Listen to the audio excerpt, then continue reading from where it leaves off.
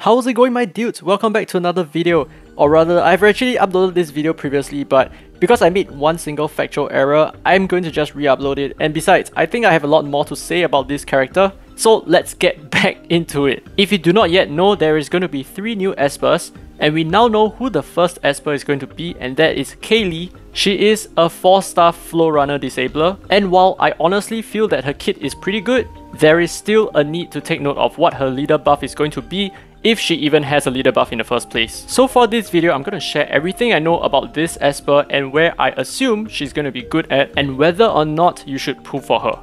Here's her S1 Satin Strike, deals damage to one enemy and extends crit rate buff on yourself if a crit was triggered.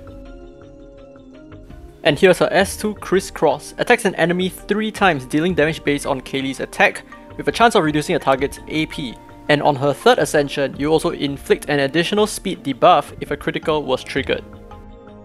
And finally for her S3 we have Dance of Deluge. Grants a critical buff to yourself and you attack all enemies 3 times, dealing damage based on Kaylee's attack with a chance of inflicting freeze if a crit is triggered. So obviously her kit is very tailored around crit rate and I would go as far as to say that if she doesn't have a 100% crit rate, she's not going to be effective, which means that if you do get her when you're a complete newbie, she's going to be a little bit more difficult to make use of, but with that said, she's still going to be very newbie friendly because she grants herself a critical rate buff, which makes it so much easier to attain a 100% crit rate. She also spots a lot of handy debuffs, especially for the Temporal Tower. So for example, on her skill 2, she has AP reduction and speed debuff, and on her skill 3, she has a team-wide freeze. And not only that, her kit is tailored towards DPS as well. So I think for new players, she's going to be very all-encompassing. You're going to have a lot of debuffs. And she's also going to be probably one of your main DPS, especially in the Ritual Miracles. Now with that said, let's take a look at where I think she's going to excel in. And we are going to start off with Kronos. Kronos is arguably the easiest of the three Ritual Miracle bosses right now, because he is super straightforward. As long as you're able to sustain yourself well enough, or control the boss enough, you're going to handle this Ritual Miracle very easily. So not only is she potentially really good with her wave clearing on her skill 3, she can also consistently land a lot of single target hits on the boss. And of course, let's not forget that she's a flow runner and the Kronos is an Infernus, so she already has a lot of natural advantages. And the second place that I think she's going to excel in is going to be the Fafnir boss because she has two different skills with multiple attacks, so she can effectively melt down the shield that the boss has, although it is rather unfortunate that her skill 1 does not come with multi-hits which means that she's probably not very good with Sword Avatara.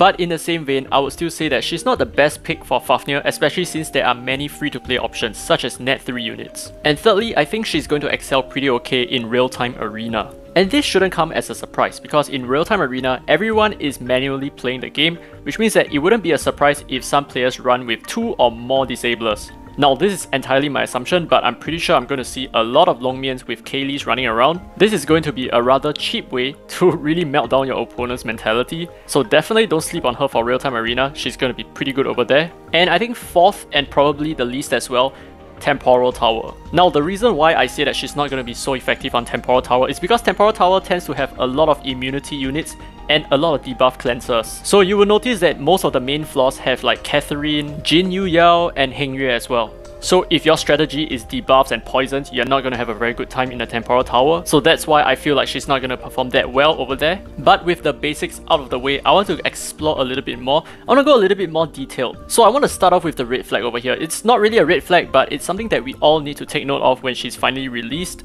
we need to know what her leader buff is and whether she even have a leader buff in the first place. Now if she comes with a speed lead, no matter is it for rituals or is it for PvP, she is instantly going to be pretty high in the tier list. But I think it's most likely the case that she's not going to come with a speed lead. If not, then there will be 4 control units with speed leads, which is in my opinion a little bit too much. So what I suspect that she has is a crit rate leader buff. If that is the case, crit rate leader buff is actually one of the most subpar leader buffs in the game. Because for all the characters that you build, you should never ever rely on having a leader buff for your unit to even function in first place. So if she doesn't get a speed lead, I'm not too excited about her. However, even if she doesn't have a speed lead, there is still one redeeming quality that she may have and that is to have a very high base speed. Now, as long as she's able to have 106 minimum base speed plus an additional 10 from let's say Ascension, then she could actually be very useful as well in Point War. Cause right now everyone has a Gabriel, and Gabriel is the best initiator in the game hands down. She starts off with uh, the highest base speed in the game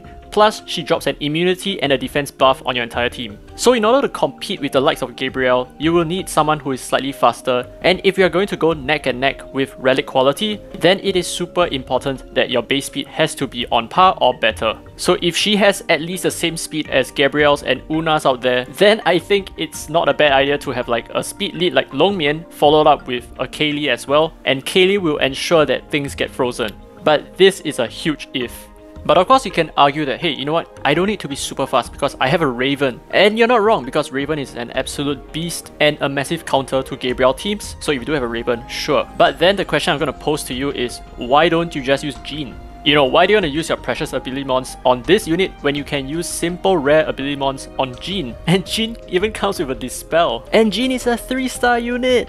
So to round off this video, if she doesn't have a speed lead or she's not super fast, I am honestly not excited about her. Feel free to disagree down in the comments below. Of course, I'm not saying that she's entirely useless, okay? She is definitely usable, but comparing her to the other existing units around and even some of the free units like net 3 units, I feel like there is a lot more to be desired in her kit, or rather she's just not that special down the road.